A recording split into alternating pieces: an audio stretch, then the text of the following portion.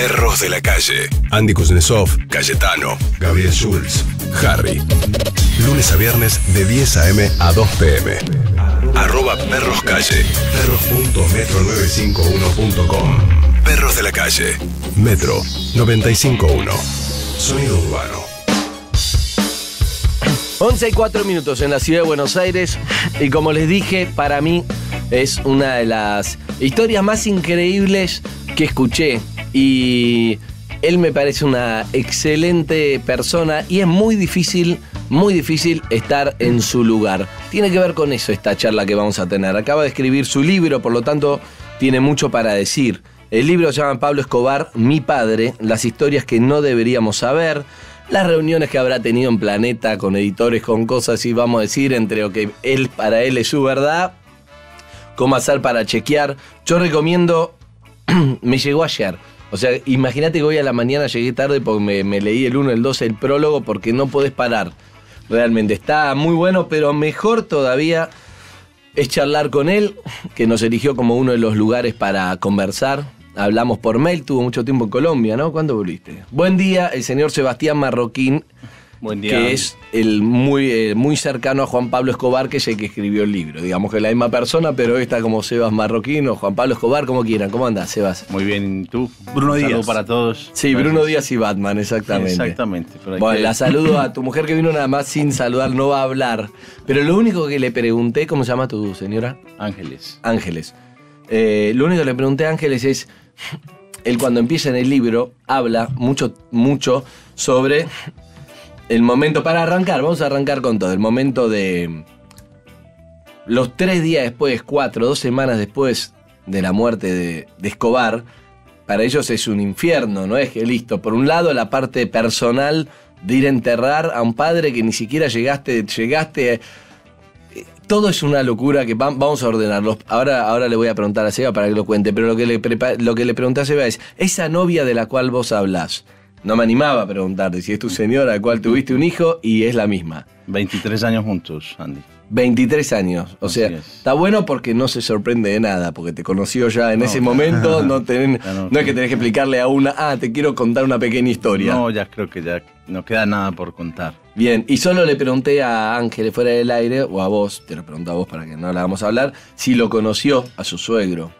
Lo conoció después de la fuga de la catedral, durante todo el año que él estuvo recluido allá recluido, más bien diría hospedado. Hospedado. Sí, eh, ella no pudo, pues no quiso ir porque tenía, pues digamos, algunos eh, temas familiares que no se habían resuelto en ese momento. Una chica que le dicen, sí, sí, eh, mi novio es el hijo. debe, ser, haber sido muy difícil ese tema para. Por supuesto que no era sencillo. obvio. No era sencillo, pero finalmente, bueno, nos escondimos juntos con él un año después de su fuga. Bien. Así que ahí lo conoció por fuerza mayor. ¿Qué dijo?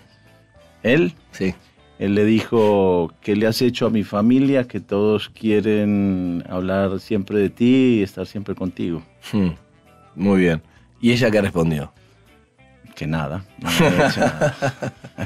bueno, señor, estamos con Sebastián Marroquín. Voy a, voy a leer de Juan Pablo Escobar el final del prólogo, el final del prólogo. Eh, Cayeta me mira como no cuente ese final, sabemos igual como... Sí, lamentablemente. Eh, dice, soy un ser humano que espera ser recordado por sus actos y no por los de su padre. Invito al lector a que no me olvide durante el paso por mis relatos, ni me confunda con mi padre, porque este es también mi historia. Tu historia es esta y además tu historia es todo el tiempo separar en, sí, yo no soy Pablo Escobar, yo soy Juan Pablo Escobar, ¿no? Es que la lucha ha sido, Andy, eh, buscar cómo se nos reconoce como individuos. Yo nunca he negado eh, el amor por mi padre y nunca lo voy a negar. Pero es difícil en una sociedad que es prejuiciosa eh, encontrar quién te reconozca como individuo y no quién te involucre como, con todas las actividades de tu padre. Creo que hay que aprender a diferenciar eso y en el libro me ocupo de que esa diferencia quede muy marcada, no porque reniegue de mi padre, sino porque me parece que es importante que se nos reconozca como tales. Vos sabés que yo en las dos veces que, charlamos al aire, eh, yo siento que, te que te pude conocer y entender un poco, ¿no? Después del libro seguramente mucho más. Eh, y creo que el que te conoce le pasa eso, tiene que avanzar hacia entenderte, es decir, hay un tema que tu padre, no importa quién es, es tu padre y más un tipo tan familiar como Escobar. Pero por otro lado, es también decir, tenés que aceptar lo que él hizo, que no, no, le hizo un bien a la sociedad. Entonces, esa, esas contradicciones yo creo que vos la, la llevás muy bien y con sinceridad, ¿no? Pero eso debe ser uno de lo que más te, habrá costado de adolescente.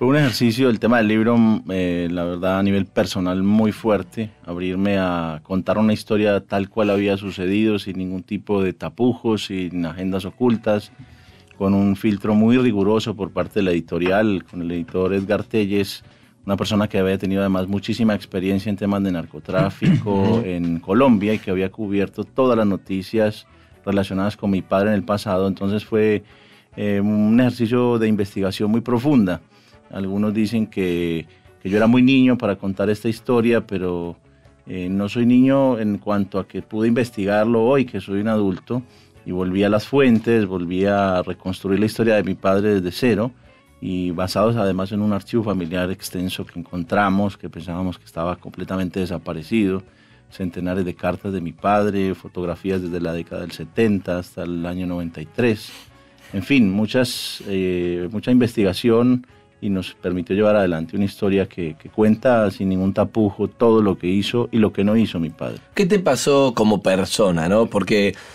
debe ser muy movilizante, porque vos no sos un periodista, vos sos el hijo, entonces como decís vos, es también tu historia, entonces ser el hijo de, por un lado, un padre súper cariñoso en su familia y por otro lado, el hijo del narcotraficante más buscado, importante y poderoso del planeta, de la historia, es una. es una. un equilibrio difícil de llevar para una persona, creo. Sin duda, sin duda que sí, porque te tienes que enfrentar eh, al dolor que él causó en Colombia. Eh, claramente dejó miles de víctimas con su violencia.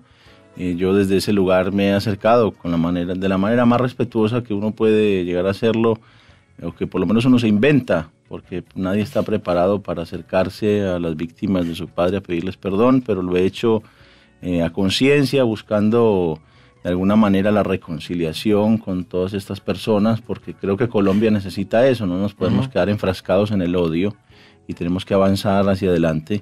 Colombia ha sido eh, un país que ha acumulado durante muchísimos años el odio y eso nos ha mantenido en guerra de manera indefinida y hay que cortar con, esa violencia. Hmm.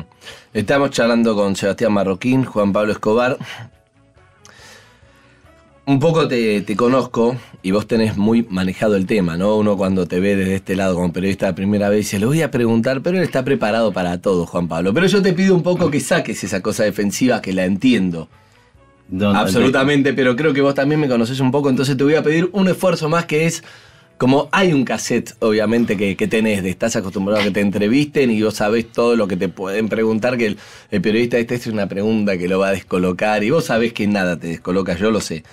Pero quiero preguntarte si te angustiaste en algún momento, si lloraste en toda esta búsqueda y qué te pasó, contámelo más como, claro, persona. De hecho, mira, lo escribí en, en las primeras páginas, digo que este fue un libro escrito con lágrimas pero sin odios, sin rencores, sin ánimos de revancha. Creo que es un testimonio no solamente para mí, es para las víctimas que tienen derecho a conocer lo que verdaderamente aconteció en el interior del cartel de Medellín, en el interior de la mente y del corazón de mi padre. No para justificar su violencia, para entenderla, para entender los motivos que lo llevaron a él a esos extremos y te reitero, no es una justificación, es simplemente un análisis de las circunstancias, de las decisiones eh, apresuradas que él tomó, del eh, camino equivocado que eligió recorrer.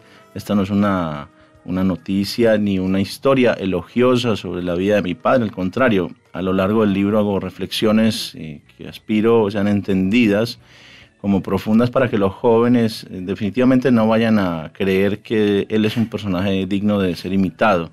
Yo fui la primera persona que tuve la oportunidad de, continuar con los pasos de mi padre. Yo pude haber sido... Como el heredero. Pablo Escobar 2.0, como le digo yo. Y no lo hice porque claramente aprendí estas lecciones de vida y si lo hubiese seguido estaría ignorando la historia, estaría insultando ese legado de la experiencia y parte de este libro es ese testimonio, ¿no? Para que quede para la gente, para los que, creen que mi papá es una persona digna de ser imitada. Yo lo amo, pero no, eh, por supuesto que no, no, considero para nada que deba ser una persona a la cual todos debamos seguir los ¿Qué te hizo llorar? Que te acuerdes que quieras compartir. Pues yo creo que la historia de la familia, la tradición familiar, entender eh, que sus hermanos lo entregaron, que su mamá tuvo que ver en eso, me pareció algo muy duro, muy, muy cruel, muy Eh, triste.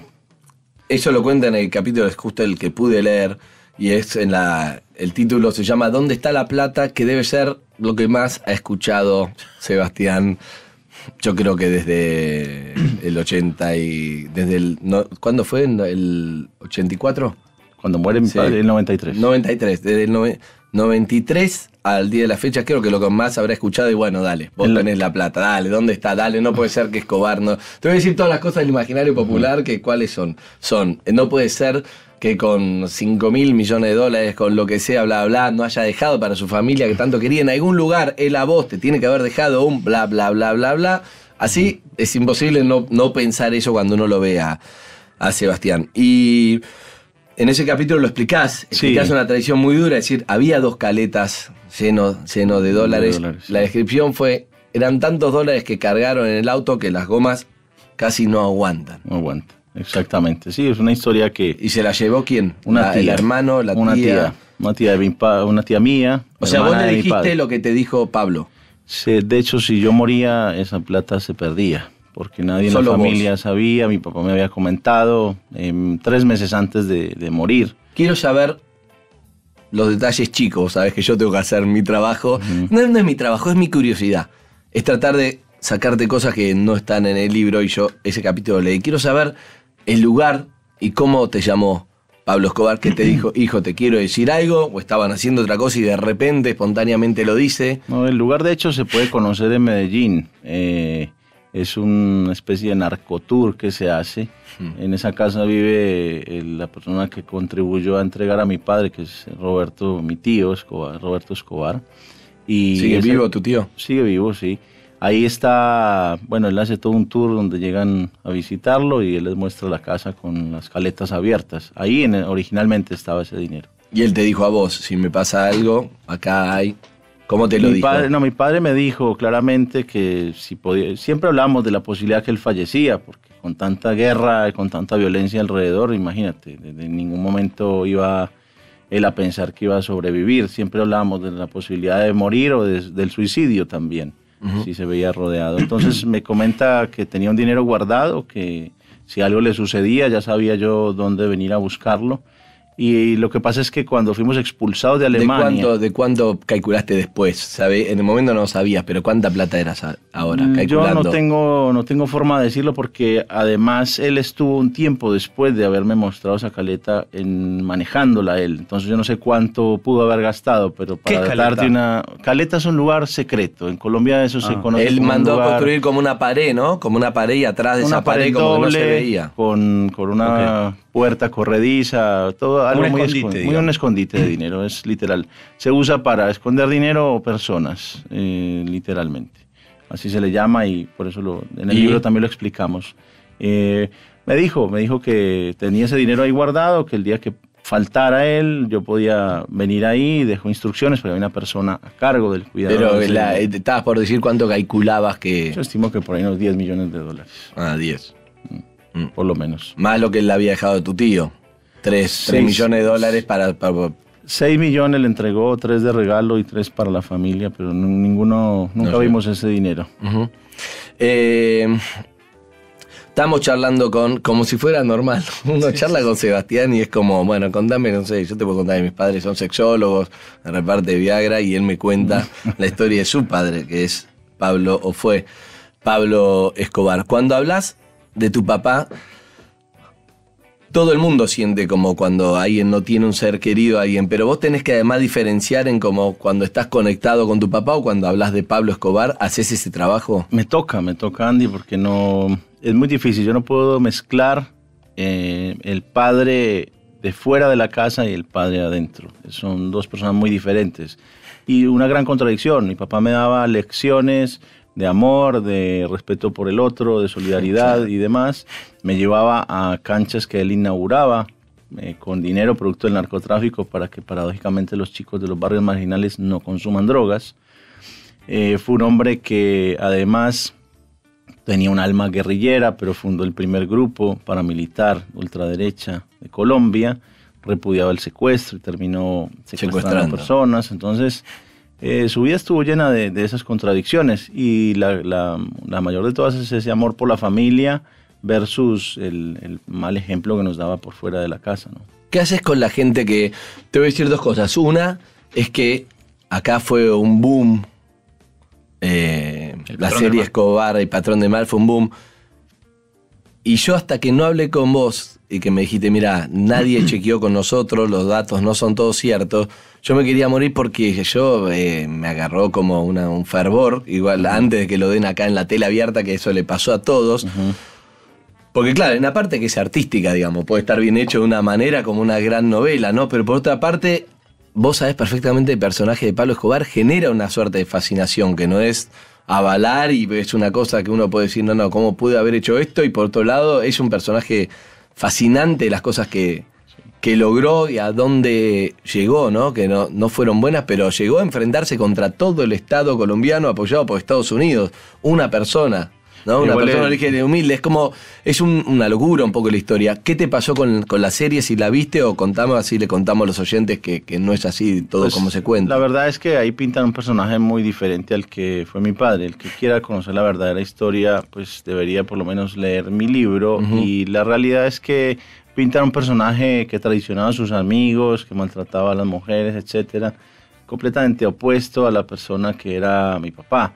Eh, no le quito las cosas malas, pero mencionan episodios que no voy a traer ahora a colación porque no quiero entrar en el terreno de las comparaciones, pero que claramente son diferentes a lo que yo cuento como historia acá. Vos fuiste sincero en el libro. Sentís que- Absolutamente, no tengo nada que te puedo responder por cada línea del libro y te voy a decir algo más. La editorial Planeta eh, no, Chequeó no- para que no sea una oda a Pablo no Escobar. hubo manera perfecta, de obviamente. con ellos. en Me absoluto. parece. Y me parecía correcto para Correcto. darle mayor seriedad al libro como tal y Pero la, pero la serie está basada en la parábola de Pablo. ¿Vos sentís que el libro está mal o la serie está mal? Es que el, primero, el, quien escribió el libro nunca conoció a mi padre. Segundo, el hecho de que haya hecho una investigación realmente no le, no, no le garantiza que le hayan dicho toda la verdad. Yo entrevisté a más personas, incluso algunas de ellas las mismas, y el nivel de información al que yo pude acceder fue muy superior al que le iban a contar a un completo desconocido. De manera tal que es difícil entrar en el terreno de las comparaciones, pero claramente el libro, los libros que se han escrito sobre mi padre han sido grandes improvisaciones. Claro. eh, y la- esta historia tiene una particularidad. Lo que sea que te inventes, la gente se lo termina creyendo. Sí. Entonces, eh, hay- se requiere de una enorme responsabilidad para darle un manejo eh, cierto a esta historia, contar las cosas como son. Incluso ha molestado en algunos sectores políticos de Colombia partes de la historia que yo cuento, porque no coinciden con la historia oficial. Claro. No coinciden También es más historia- fácil contar una historia oficial de alguien que ya está muerto, ¿no? Sin duda, pero eh, por ejemplo hay una gran controversia en Colombia por la forma como murió mi papá, etcétera. Yo no le he querido dar tanta trascendencia porque me parece que muerto está. No importa si se pegó él el tiro, si se lo pegó otro. Para mí la diferencia es prácticamente ninguna. Pero ha generado revuelo porque pues la policía en Colombia dice que fueron ellos. Claro. eh, otros jefes Se quieren colgar la medalla de quién mató a Pablo Escobar. Exacto. y- Pero no puede ser que en- en el libro de los otros eh, cuenten cosas que vos no querés contar para por ahí cuidar cierta imagen de, de tu padre. Yo les, que tú dices que yo de pronto haya dejado de contar algunas cosas para cuidar la imagen de mi padre. Y cuidar el apellido. No, acá no hay manera de cuidarlo, hermano. Con, aquí cuento una explosión en pleno vuelo con 110 personas que murieron en el avión de Avianca, decenas de bombas por toda la ciudad de Bogotá y de Medellín, con centenares de muertos, asesinatos, secuestros, masacres, torturas, desapariciones. Te garantizo que lo que menos estoy haciendo es cuidar la imagen y el apellido. Sebastián, eh, te cago con esa respuesta. es imposible decirle algo. ahora, Es imposible decirle algo. ¿Qué la clava? ¿Qué- verdad- qué alto el baño con la puerta abierta? ¿Qué No, trabajé? no, no. No, pero No es verdad que algo, algo queda menor. Cualquier cosa que puedo decir, che, lo que no sé, a tal mujer o a tal cosa, que queda, me- te acaba de dar un titular tan grande que es muy. No queda nada para cuidarte, lo garantizo. ¿Quiere- ¿Te impresionó la, la actuación de Andrés Parra, el, el parecido? Yo sé que vos obviamente no sos objetivo. Yo me baso en lo que se ve de los documentos que hay del verdadero Pablo Escobar y la actuación. Me pareció que estaba bien. Después, obviamente, yo creo que ahí sí debe ser muy difícil para un hijo decir se parece o no se parece, y más si, si la serie no te gustó. Pero a, nivel de parecido físico del logro actoral, ¿te pareció que, era algo así o no? La verdad es que yo no, vi la serie. me vi, ¿Alguna foto me vi solo el último capítulo porque mm. estaba haciendo zapping y lo encontré, pero realmente no ¿Qué te pasó con ese último capítulo? Porque estás, de hecho, él, habla con vos un rato antes de. Sí, tengo objeciones porque eligieron un actor muy feo para repetir. Me parece justo, es verdad. Es verdad. Es verdad. Eh, tampoco sos Juanes, eh. Tampoco no, sos Juanes. No, no, yo sé, pero me hubieran podido poner. Un poquito más, claro, está muy bien, está muy bien. Pero ¿qué te pasó cuando, cuando vos ves ese último capítulo que es drama? Estamos hablando con alguien que vio en la televisión el último capítulo que encima lo vio medio Colombia, acá también fue un éxito, ¿no? De cómo mataron a su padre, que no, no, no es fácil eso, más allá de, ¿no? Digamos, acá nos reímos, pero no estamos hablando de una serie, estamos hablando de una persona. Sí, lo que pasa es que ha pasado el tiempo y uno también ya aprende. Por eso, ¿qué te pasó con este adulto? Pues mira, eh, la historia que yo conozco es muy diferente. El final de mi padre es muy distinto al que se ¿Cómo es la, que vos conocés?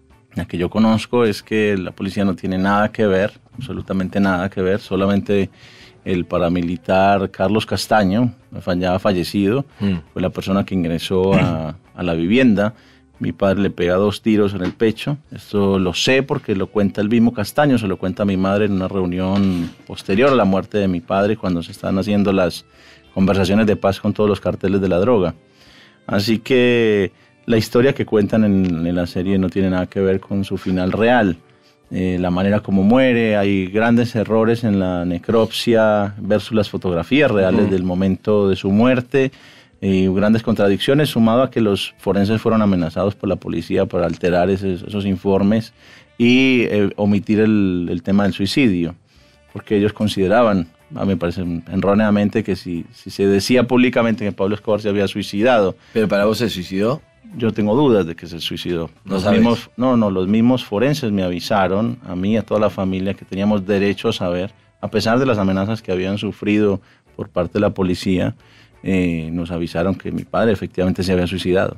Eso fue una conversación que tuvimos con mi papá durante muchísimo tiempo. El tema del suicidio era el desayuno para nosotros.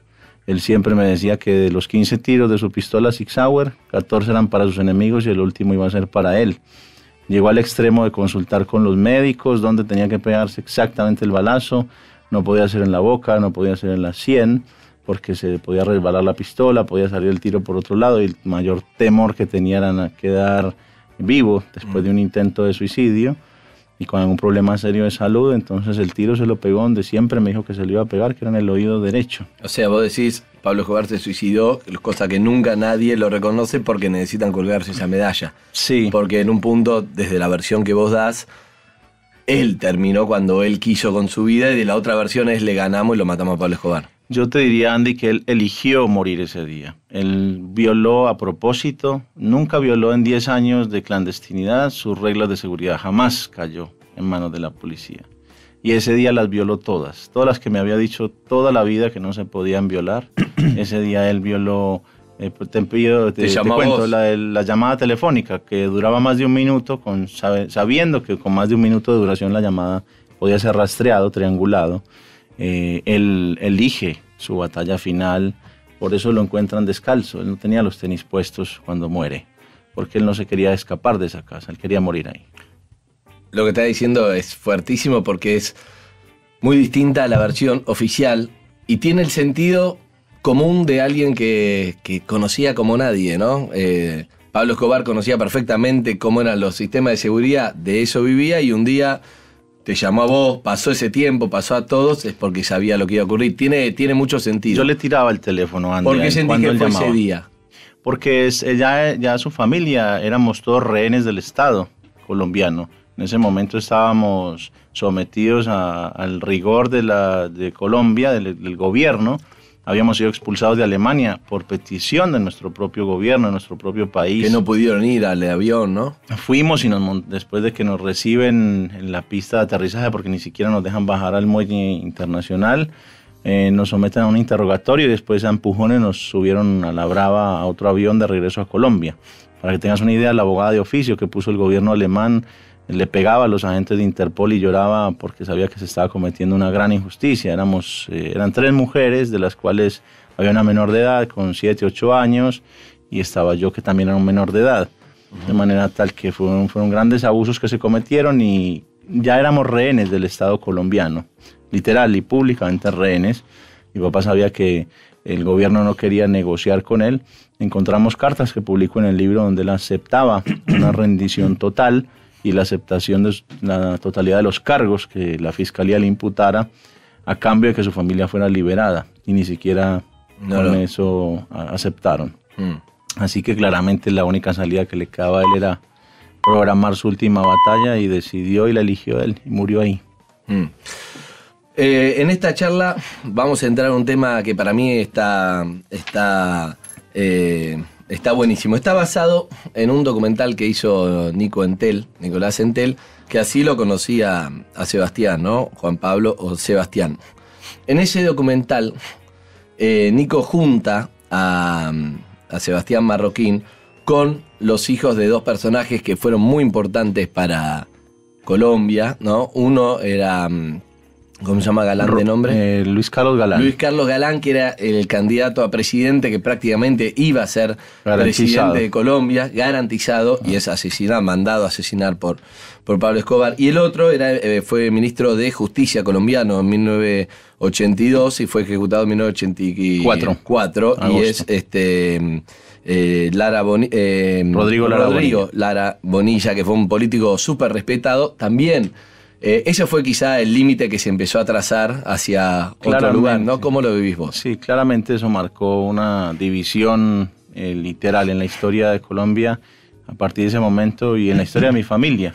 Nosotros vivíamos en un hogar, entre comillas, normal y desde ese momento, desde que mi papá se enfrenta públicamente con el ministro y elige y decide mandar a matar al ministro, eh, la vida de nosotros eh, cambió para siempre y la de Colombia también. Porque era un ministro de Justicia, Rodrigo Lara Bonilla, que decidió, ir en contra del narcotráfico. Decidió enfrentar a todas las mafias. A enfrentar a las mafias como, como uno, ¿no? Como como a uno le gustaría y Pablo Escobar decidió matar al ministro de Justicia y eso obviamente ahí empieza una guerra contra el Estado directamente y vos decís que eso te cambió. Claro, porque nos, tuvimos que abandonar el país, nos fuimos a refugiar en Panamá de la mano del general Noriega, después terminamos eh, refugiados en Nicaragua de la mano de los sandinistas. Total.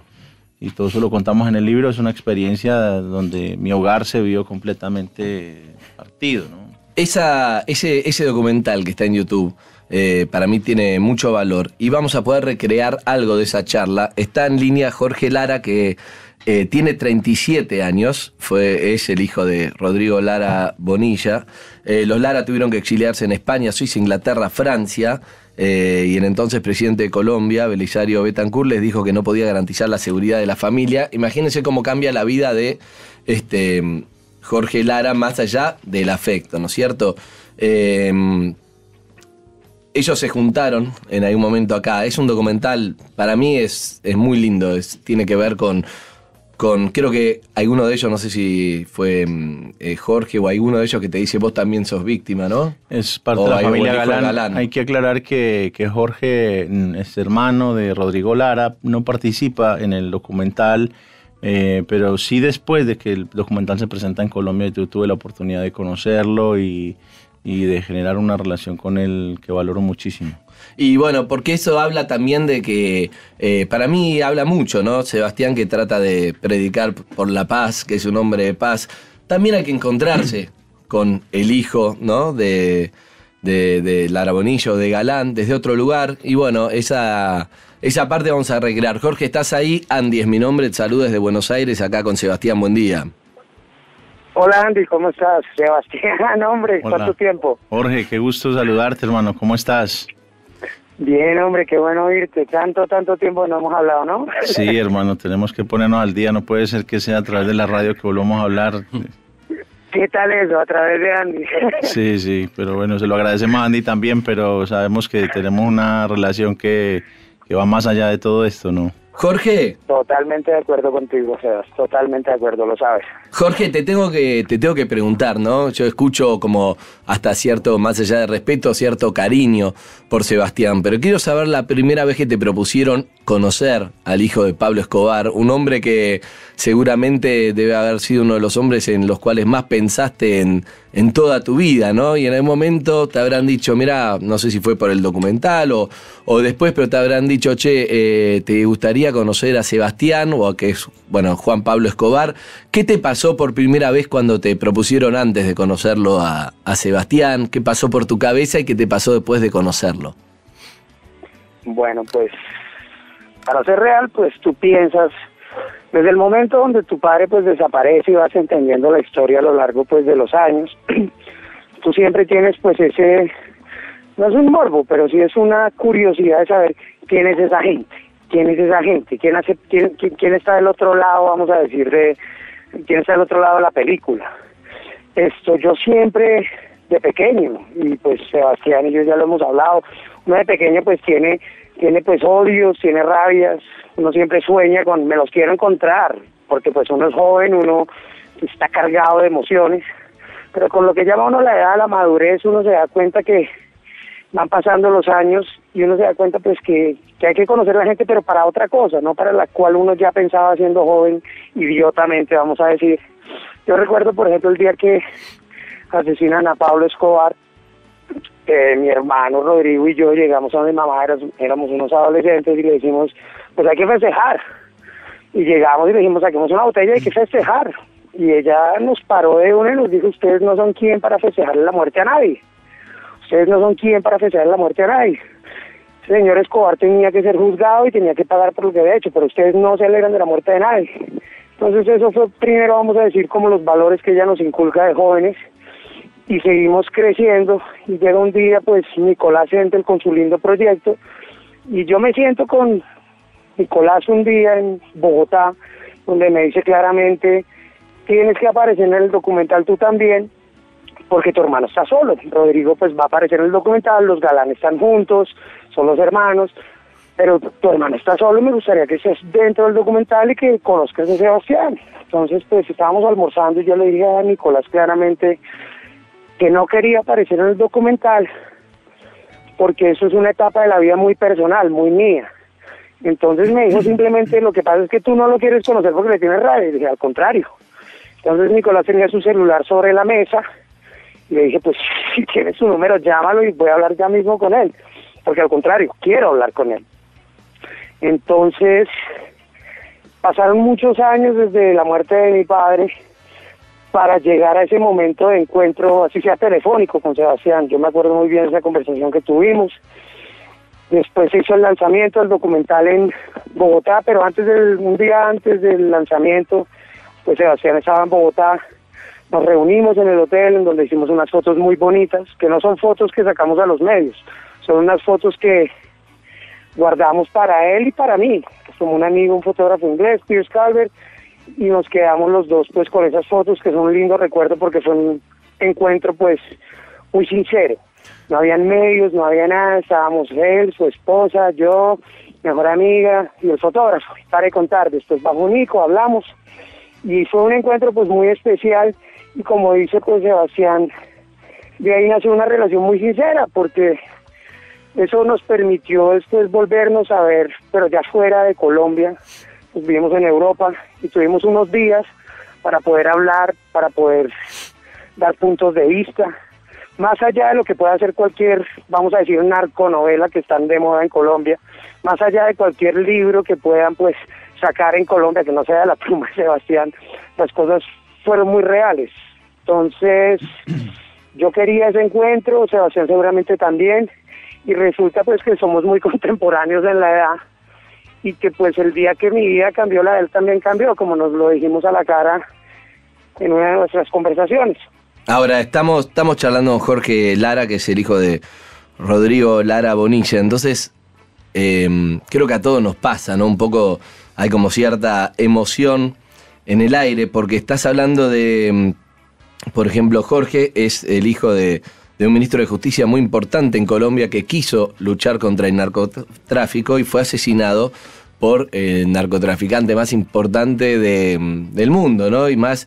Y estamos hablando de sus dos hijos. Ninguno tiene la culpa ni lo bueno ni lo malo que hicieron los padres, pero sí hay una parte que creo que Jorge fue muy claro, que fue la madre le dijo, vos no podés festejar la muerte de nadie, por más que haya sido el hombre, ¿no? Eh, Pablo Escobar y el que mató a, a su papá. Y eso lo marcó, y creo que con esa, con esa paz y ese no resentimiento es que pudieron conocerse y tener esa relación, pero qué difícil que es, ¿no? Qué fácil que es escucharlos, pero debe haber sido muy difícil conocerse.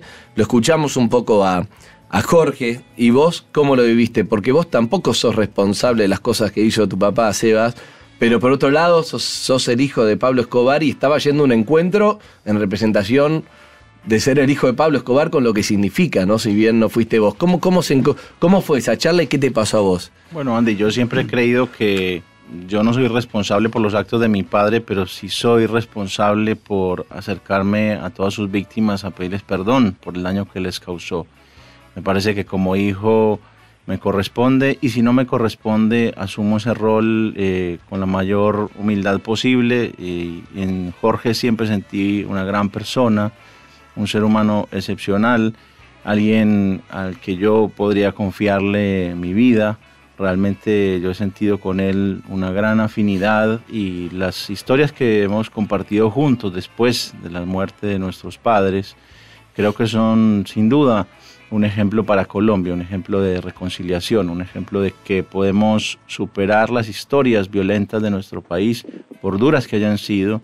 Eso no significa que renunciemos a la justicia ni que renunciemos a la verdad, pero eso significa sí renunciar a la violencia y a Jorge lo valoro muchísimo porque ha sido muy abierto a conversar conmigo de todos estos temas, eh, incluso tengo en mis mejores recuerdos, no solamente las fotos que nos tomamos aquel día de nuestro primer encuentro, sino de todas las experiencias bonitas que vivimos en Madrid, que no las vamos a contar al aire, pero que Ok. fueron muy bonitas y que realmente agradezco la posibilidad de haber compartido en esos términos de una manera tan distendida con Jorge allí. Jorge, eh, que el hijo de Pablo Escobar, si bien no tuvo nada que ver con las decisiones de su padre, te pida disculpas en nombre de él. ¿Te alivió?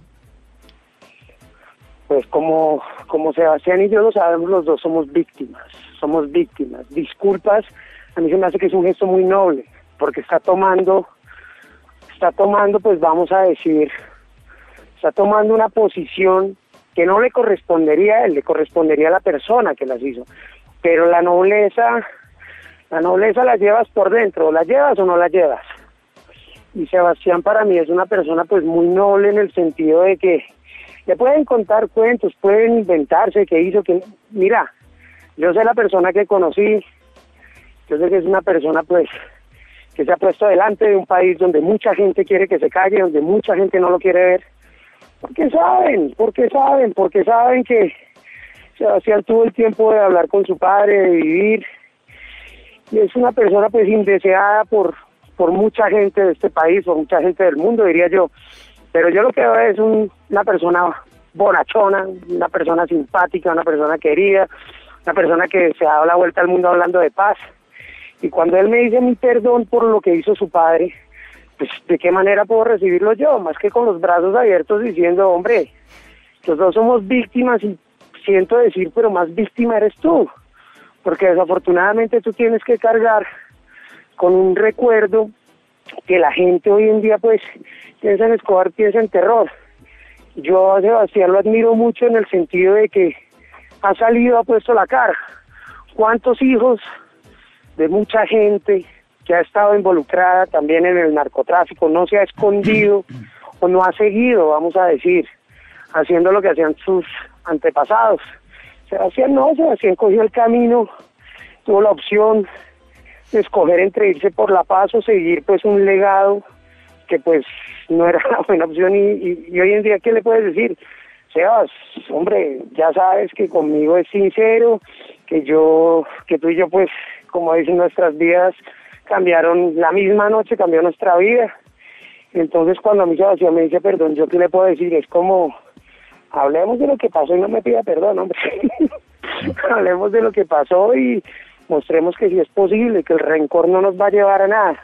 Ahora, como lo dice Sebastián, lo acaba de decir, la justicia es la justicia es una parte importante en estos procesos. La justicia hoy en día es la que tiene que seguir, la justicia es la que tiene que seguir haciendo su tarea de poner a la gente frente a todos sus poner a la gente frente a todos sus, sus hechos.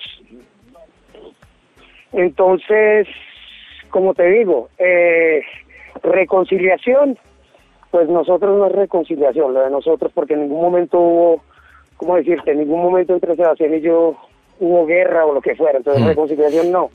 Sería más bien un momento de entendimiento, un momento de, de, de, comunión, vamos a decir. La verdad que es lindo escucharlo. Si alguien mandaba recién por Twitter algo increíble, ¿no? Que no lo, es para charlarlo después, ¿no? Con Jorge así lo aprovechamos, que es acá no estamos peleando políticamente quién es Kant y hay un montón de cosas y con nos peleamos con una violencia y estamos escuchando a- al hijo de, de quien fue ministro de Justicia, al hijo de quien lo, lo mató y además lo que representa cada uno, ¿no? Eh, hay una parte que, que es muy simbólica, que es, que estaba pensando recién, Jorge Lara es el hijo de Rodrigo Lara Bonilla, ministro de Justicia, y su mamá, la mujer del ministro, le dijo, no hay que festejar la muerte, Pablo Escobar debería haber sido juzgado, condenado, porque así, eso, de eso se trata la justicia, ¿no? De, de mandar a matar o de festejar una muerte. Y me parece que eso es súper simbólico todo lo que están charlando. Para mí me parece súper enriquecedor escucharlos. Te quiero preguntar, Jorge, si tus hermanos o los hijos de Galán, si estaban todos de acuerdo con vos y tan abiertos o seguramente había mucho recelo y no todos iban con la misma actitud a conocerlo a Sebastián, ¿no? Pues bueno, como sabes, todos tenemos personalidades diferentes, todos tenemos pues vivencias que nos han cambiado nuestra personalidad. Ya hablando yo por lo que me comentó a mí se- eh, Nicolás Entel, esto al comienzo todo el mundo estaba muy, vamos a decir, muy reticente a hacer ese, ese documental, porque qué, qué va a decir la gente, etcétera, etcétera. Después de hablar con Rodrigo varias veces, Nicolás pues logró convencerlo. Yo te digo, a mí no me convenció. vos A no fuiste al documental, claro. Sin duda.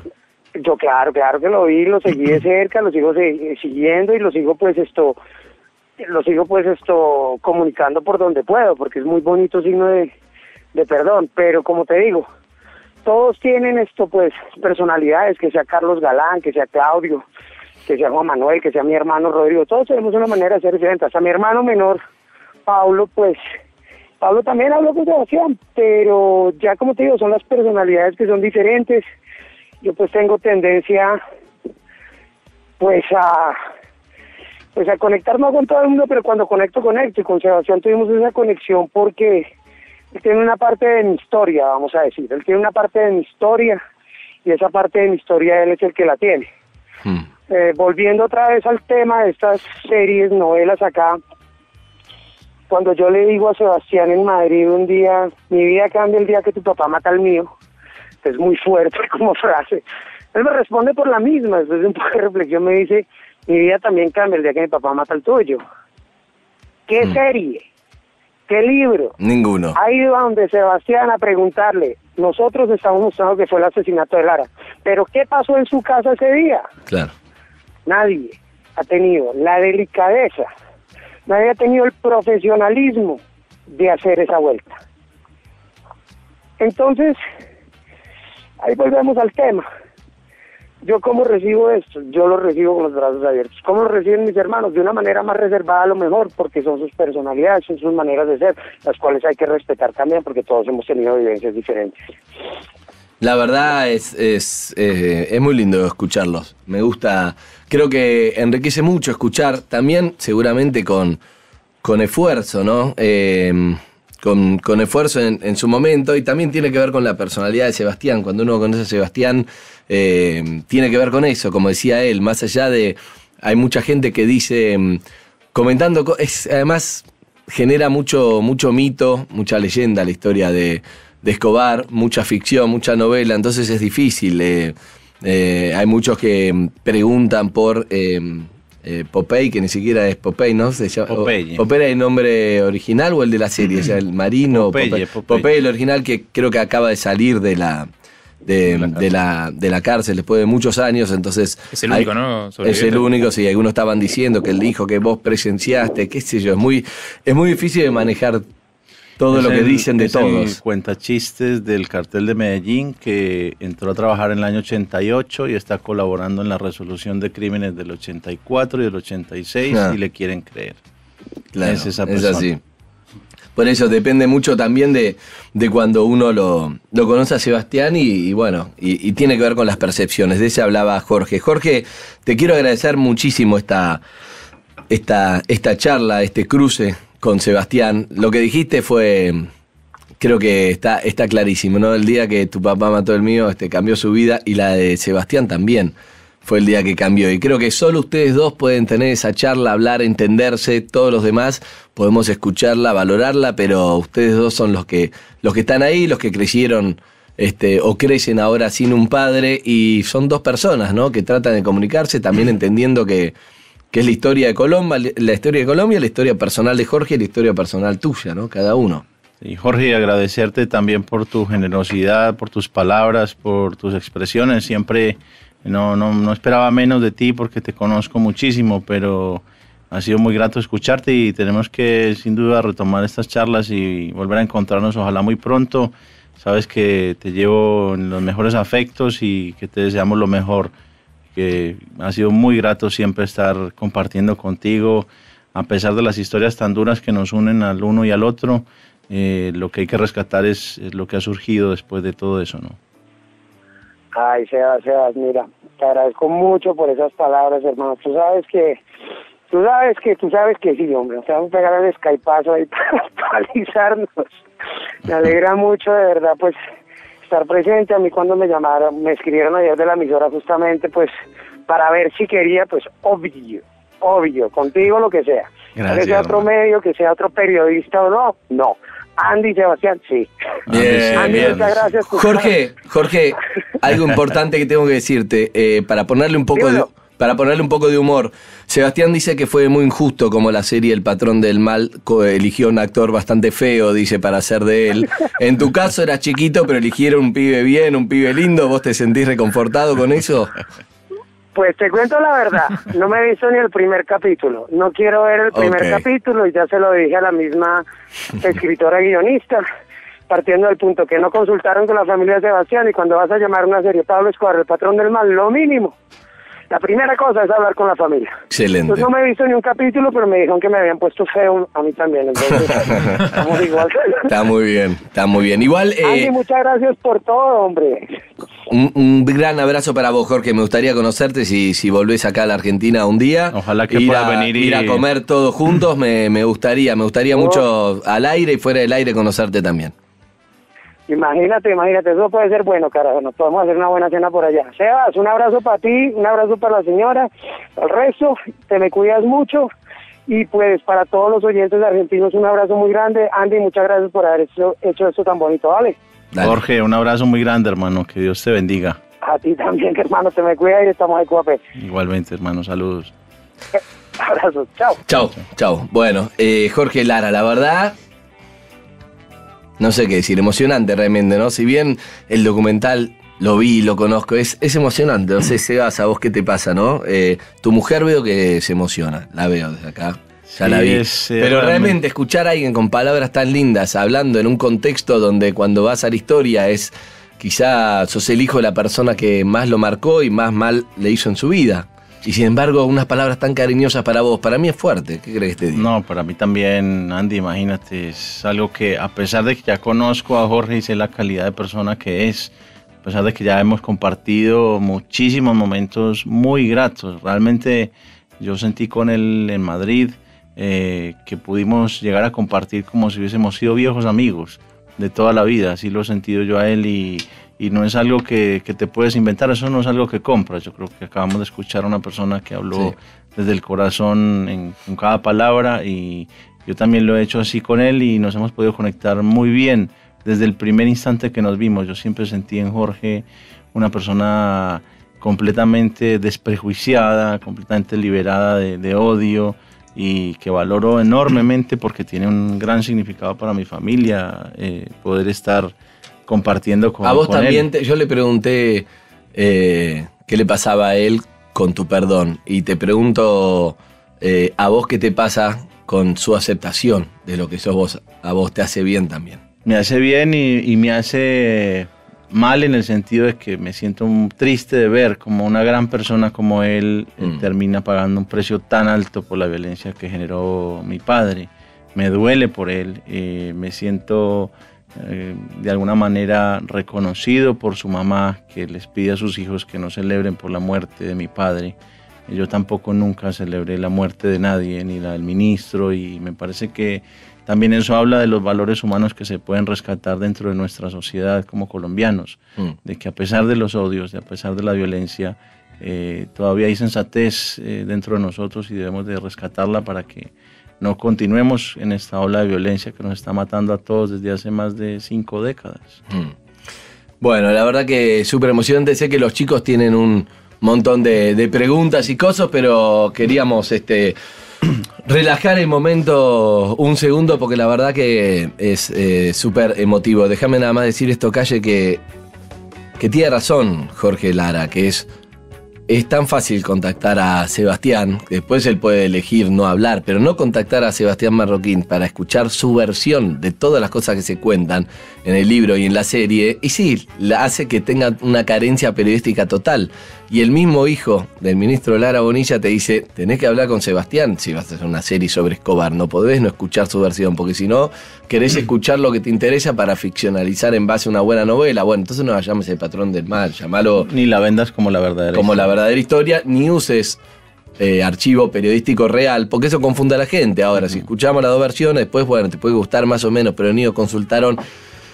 A mí me tira para abajo yo que, que me gustó mucho la, la serie Sí. como, como espectador, te digo que la hora lo llevo a otro lugar, no un lugar de, Sí, de ficción. Bueno, Lamentablemente el que la vio pues se divierte, pero perdió su tiempo si pensaba que había estado viendo la historia. historia verdad. bien, eh, sí, calle. No, yo le quiero preguntar saliendo de todo esto que, que venían hablando, pero teniendo en cuenta que, que vivís Seba, hace muchos años aquí en la Argentina, Sí. y creo que a mí y a muchos argentinos nos preocupa mm, eh, la, la creciente ola de, de violencia narco, por llamarlo de alguna manera, en Rosario, en Provincia de Buenos Aires, bueno, en muchos lugares.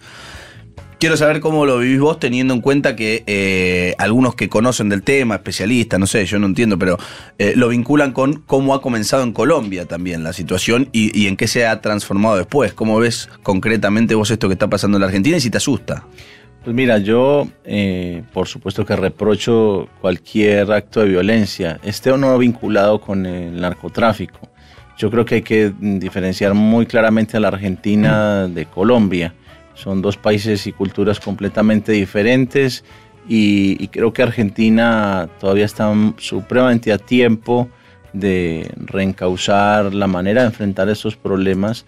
Y este libro que yo escribo también es una, una respuesta a eso, es una experiencia, ahí está volcada toda la experiencia y tú puedes entender cómo Colombia se terminó convirtiendo en ese lugar que estaba eh, realmente rodeado por narcotraficantes y sometido por narcotraficantes a través de su violencia y de su corrupción. Pero vos ves acá es- un caldo de cultivo o algo que, o no, nada que ver. Yo creo que todo país latinoamericano es un, Mm. un caldo de cultivo muy fuerte para que eso sea explotado. Si tú miras la historia, eh, en Perú, en Bolivia, en Venezuela, en Panamá, se están empezando a, repetir historias similares a las que se viven acá, no, no con la misma intensidad. México tristemente está sufriendo hoy un nivel de violencia sin precedentes.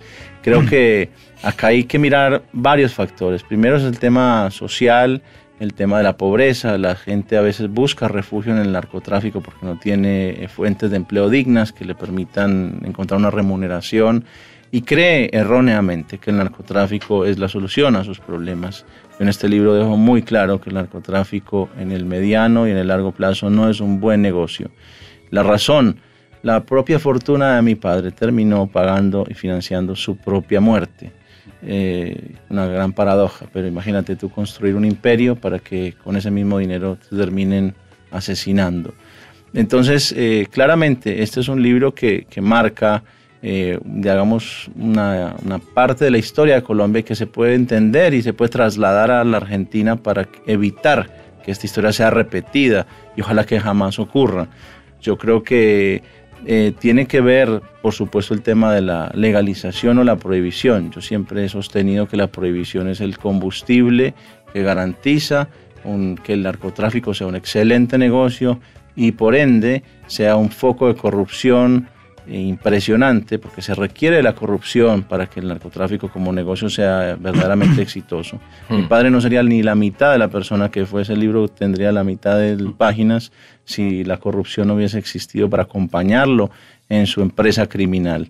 Así que eso también tiene que ver con los valores humanos que, que se deben de rescatar en todas las democracias, no solamente en la de Argentina. Y creo que mm, sin duda, Argentina está en riesgo, como cualquier otro país latinoamericano, de llegar a convertirse en un foco de, problemas relacionados con el tema del narcotráfico, pero creo que está muy, muy lejos de siquiera parecerse a lo que sufrió Colombia o a lo que está viviendo México hoy. Y aspiro y espero que la sociedad encuentre la forma de, de enfrentar este problema. Yo creo que no es a través de la violencia, sino a través del amor. Bien. Aspiro quizá no es la mejor expresión. sí, eh, bueno, está bien un poco de humor. Eh, sí. Cuando ustedes llegan a la Argentina, llegan en una década que era a todas luces un, gobierno muy corrupto, ¿no? Eh, ustedes tuvieron que arreglar con algún funcionario o tuvieron que de alguna manera charlar con con alguien del poder como para que los dejaran vivir aquí sin problemas? Por suerte no, porque estaríamos fundidos completamente. Pero la, realidad es bien diferente. Entonces siempre se ha especulado eh, de que tuvimos alguna ayuda. Nosotros tuvimos una ayuda concreta del gobierno de Mozambique, en África. Eh, de hecho, fuimos hasta allí. Nuestro acuerdo era con el gobierno de Mozambique para recibirnos allí como refugiados.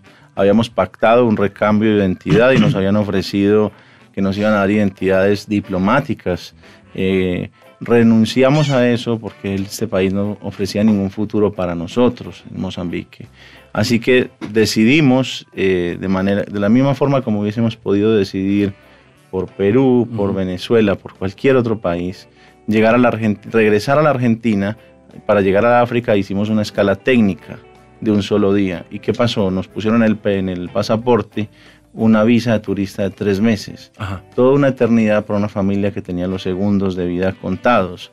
Eh, decidimos llegar acá a la Argentina por eso, porque dijimos, si por un solo día que pasamos eh, nos dieron tres meses de estadía, pues mientras vemos qué hacer con nuestras vidas, y con nuestro futuro. Pues vamos a la Argentina, ganamos aquí tiempo. migraciones sabían quiénes eran ustedes? No, nunca supieron por la ah, siguiente razón. Nosotros nos cambiamos de identidad en Colombia en el año 1994, en la mitad del año 94.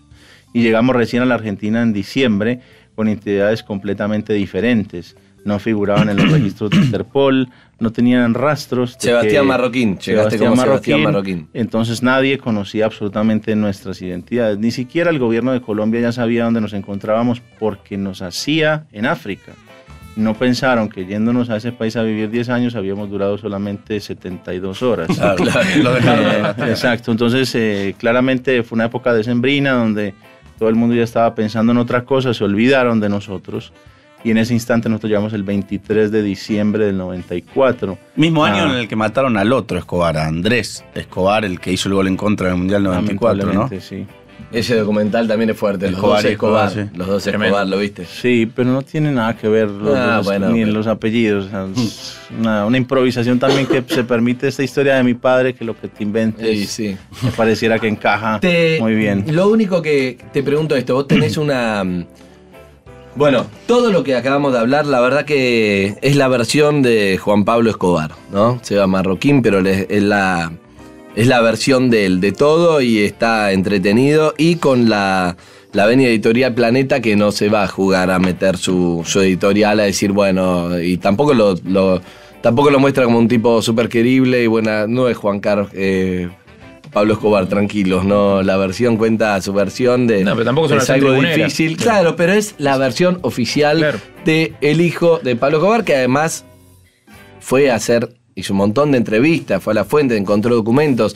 En el segundo capítulo cuenta cómo su tío, el hermano, que en la serie se querían tanto y todo, una, lo entregó. muerto, la madre, la abuela la abuela de él. Es una historia dura también de ver que por plata lo vendieron y lo entregaron a Pablo Escobar. O sea, así arranca en el capítulo 2. Entonces, está claro que no, no, no, no nos va a contar una No historia, historia que, que- que no es la historia que él siente y él vivió. Es la historia que no se conoce, justamente. Es la historia que nunca nadie quiso preguntar, porque si tú te fijas, Andy, y revisas los medios de comunicación en Colombia, yo estuve recientemente haciendo la promoción en, en medios de todo este libro.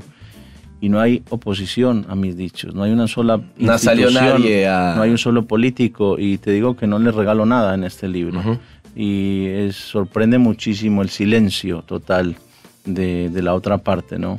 Porque no sé si estarán dándole total crédito al libro o qué es lo que pasa, que no nadie sale a decir nada. Que esto no fue así, sí. Yo justamente de eso te quería preguntar, eh, de Roberto, tu tío, eh, vos más temprano en la nota cuando lo mencionás la primera vez, eh, decís que colaboró con la entrega de tu, de tu viejo eh, y que ahora tiene como esta especie de narcomuseo, digamos, este narcotour, eh, donde, donde de alguna manera lucra, digamos, con aquellos recuerdos y con, con esa historia eh, para hacer su, su- su parte turística. Te quería preguntar si existe dentro tuyo alguna, dentro de todas estas contradicciones, esta tirantez entre mi viejo bueno, mi viejo malo, digamos, y toda esta, esta historia que contás, si existe, o sea, ¿en, en qué lugar pones vos a los delatores, digamos, a los que ayudaron, a los que colaboraron con entregarlo? Si del lado bueno, digamos, de ayudaron con la justicia a, a derribar un imperio narco, o del lado malo, de dentro de mi propia familia, vendieron a mi papá. El delator tiene que estar en el peor de los lugares. Para mí eso no, eso no va con mis códigos, ni con mi vida, ni con mis sentimientos. Yo no puedo entregar a mi padre por más violento que él haya sido. O sea, yo fui criado con unos valores muy diferentes y para mí eso es lo peor. No me imagino un peor lugar en el que uno pueda elegir estar como persona vendiendo a su propia familia. Yo no me imagino que ninguno de ustedes acá vendería a sus hermanos, a su familia o a su padre. Mm. No, pero ¿sabes qué? Mira, hace poco en el salió una noticia, la semana pasada vos vivís acá en Argentina, y es una noticia de Total. eh, que tiene padre. que ver con eso, Sebas, y es que un, un padre que la hubo una hubo la, la muerte de una, de una chica chilena, La estudiante ¿no? chilena, una sí. estudiante, y entonces la, la hermana de este pibe lo, lo reconoce al pie de una cámara de seguridad, le dice el padre, el padre no podía creer, pero efectivamente cuando habla con el hijo se da cuenta que sí, que él había matado y el padre lo entregó con dolor, por supuesto, entregó a su hijo a, por el motivo. Por supuesto que no se puede comparar eh, y, y es distinto y tampoco te quiero sacar vos, pero para No, no. comentarte que me- a mí me parece un, un buen ejemplo de ese padre que con un hijo que, que no está bien de la cabeza, que le está haciendo muy mal a, a la sociedad y... También hay que mirar el etcétera, ¿no? contexto, Andy, son noticias como muy diferentes. Por yo eso me te crié, digo. para hablar eh, claramente de mi historia, eh, yo me crié en un círculo mafioso, queramos o no. O sea, eh, yo nací, mis niñeras fueron los peores criminales de- del país. Entonces, eh, en- entiende la vida desde, otra, Sí, sí, sí, desde sí. otro lugar y por supuesto que es muy difícil entrar a valorar todos los sentimientos que se cruzaron por la mente de ese padre para entregar a su hijo. Me imagino que fueron los peores, los más dolorosos y no fue una decisión fácil para él. Yo me crié en una cultura que reza honrarás padre y madre y para mí era muy difícil siquiera considerar la posibilidad de entregar a mi padre. Yo en el libro reconozco, el último año estuve escondido con él. Yo nunca estuve de acuerdo con su violencia, pero tampoco estuve nunca dispuesto a entregarlo. Claro, estuviste escondido con- y no, no, no lo delataste. Ahí viene la historia que y me- ofrecían millones de dólares y beneficios y visas y todo lo que tú quieras. Él me ofrecían el paraíso, pero jamás por ningún dinero del mundo lo hubiera entregado. A mí me, la historia más increíble que me contaron haciendo entrevistas, y son muchas, fue la tuya. La de, Sí, sí, sí, la sí. de los 2 millones de dólares La cuenta- bueno. no te contala, contala, que no tenían para comer. Sí, eso es una de las historias que a mí me marcó. La gente a veces me pregunta, ¿y por qué no sos narcotraficante? Entonces les cuento esa historia porque me parece que es como la más fuerte de todas las que hemos vivido. Y esto ocurre en Medellín después de la fuga de mi padre en la catedral cuando nos estábamos escondiendo de una persecución feroz, no solamente por parte de las fuerzas del Estado, sino de los enemigos de mi padre que mancomunadamente se aliaron entre el Estado y todo. Ya no, sab- ya no se sabía quién eran los buenos y los malos pero todos estaban con un objetivo en común contra mi padre y la policía hizo un, un control de rutina en un barrio cualquiera de Medellín. No te podría decir siquiera dónde, porque nosotros éramos llevados por mi padre a sus escondites, a sus caletas, con los ojos vendados para que ante interrogatorio no pudiésemos podía. revelar el lugar donde él se escondía. La policía se hizo enfrente de la casa, hizo un control de rutina y no podíamos salir a comprar comida. Estábamos literalmente rodeados de millones de dólares estaban tirados por el piso, ni siquiera estaban encaletados, como se diría. y nos empezamos a morir de hambre porque se acabaron la totalidad de los víveres en la casa. Y estuvimos casi un poco más de una semana aguantando física hambre, llenos de millones de dólares a nuestro alrededor.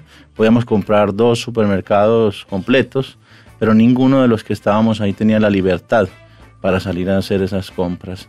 Y desde ese lugar yo siempre me cuestioné, yo dije, de pronto no es tan buena la plata del narcotráfico, porque claramente si con esta abundancia en la que estamos ahora eh, nos estamos muriendo de hambre y no tenemos la libertad para salir a comprar una libra de arroz, sinceramente, ¿para qué me sirve?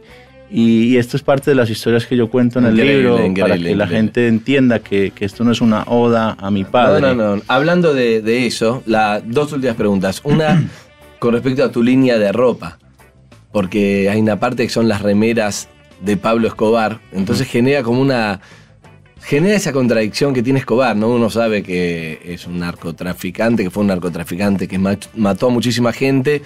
Y la fascinación de querer ponerlo como en una remera, en un merchandising que sé que, que se vende, ¿no? Que tiene que ver con documentos de él, con pedido de captura, con una cosa más de moda, pero te generó dudas, tenías dudas, tenías miedo que, que se lo sienta como una falta de respeto, como una provocación, ¿cómo lo viviste? Por supuesto que siempre consideré la posibilidad de que se entendiera como una provocación, pero fue muy bien pensada el tema de la marca porque desde mi actitud personal frente a la vida, en ningún lugar de la marca tú vas a, ver eh, zonas donde se hace apología del delito. Al contrario, yo utilizo la marca Pablo Escobar para invitar a los jóvenes a que no repitan esa historia.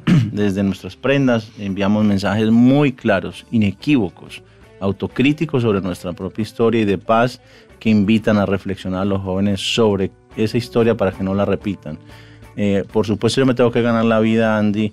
Si yo salgo a vender estampitas religiosas también me estarían criticando y, y la sociedad es prejuiciosa. Por cualquier cosa que yo haga me pongo a vender empanadas. Pero no tenés plata, dale, si la plata está en algún lado. En. Si estuviera, estaríamos en una isla tomando piña colada y esta entrevista no tendría lugar. Entonces, eh, también la realidad es que yo agradezco, Andy, haber sido despojado de la fortuna de mi padre. Seguro. Porque el, el dinero te vuelve una persona soberbia, te hace creer que sos todopoderoso, que, que puedes ir contra el mundo, que puedes comprar voluntades y pagar por la vida de los demás. Y, agradezco.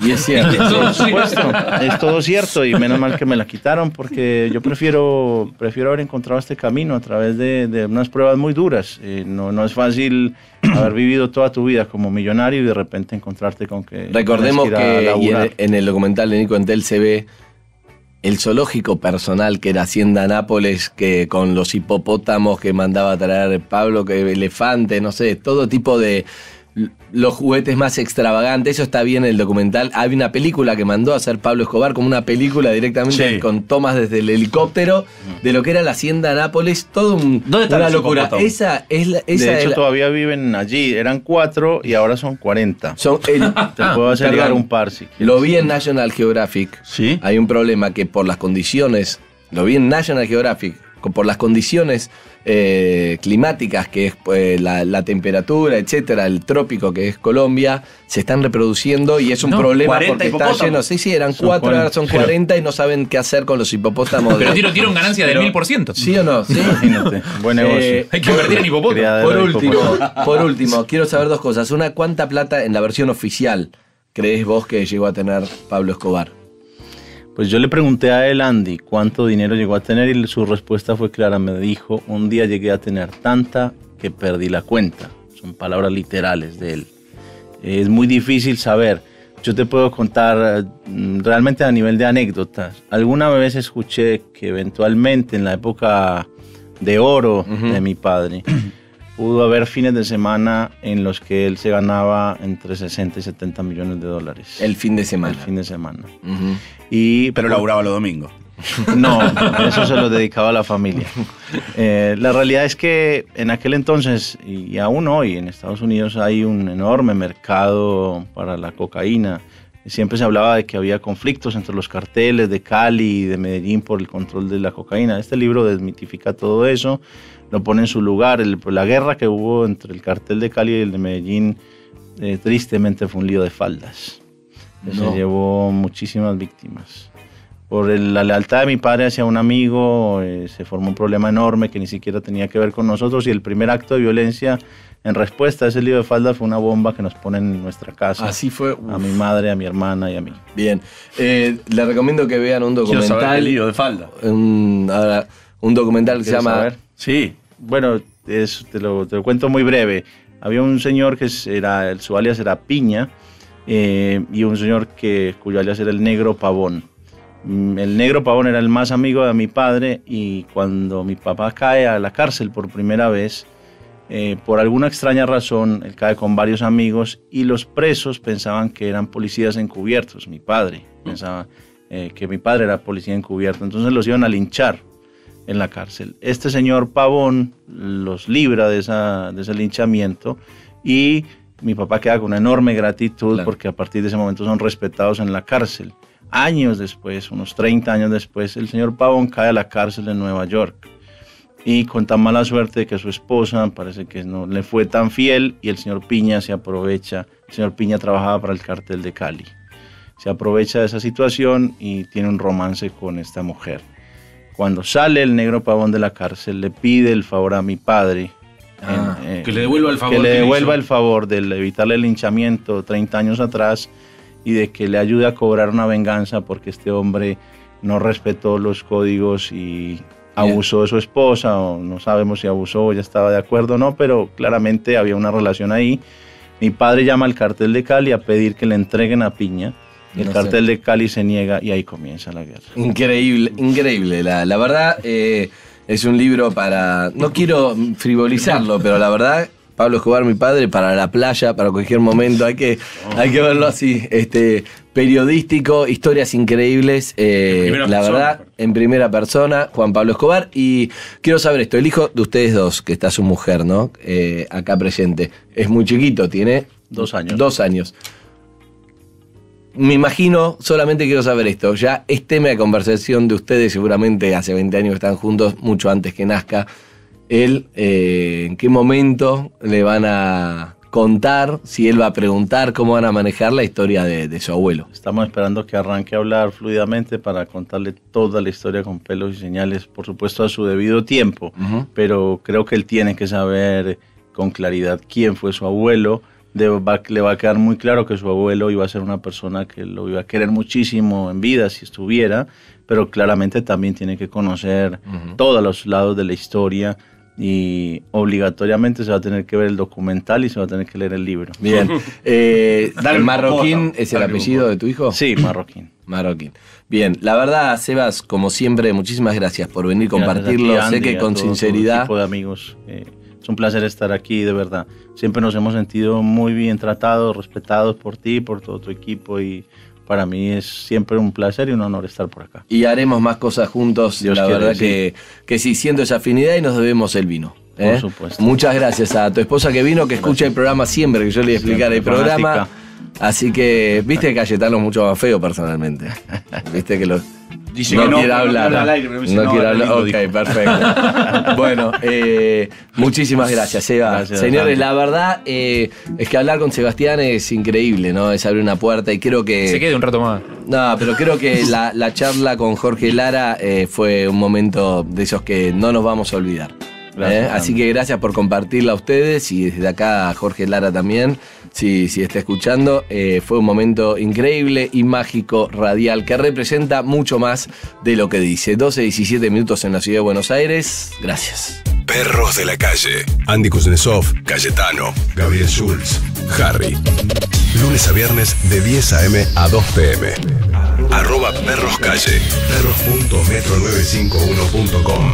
Perros de la calle. Metro 951. Sonido urbano.